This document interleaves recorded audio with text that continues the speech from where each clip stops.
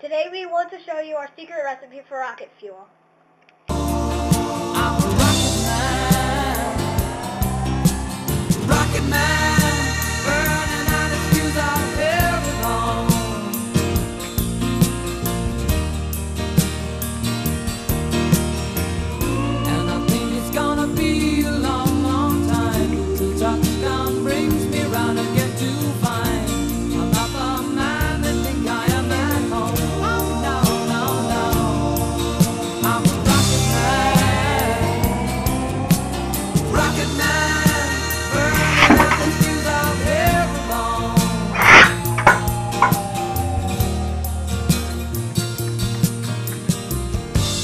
cause ain't find a place to raise your kids.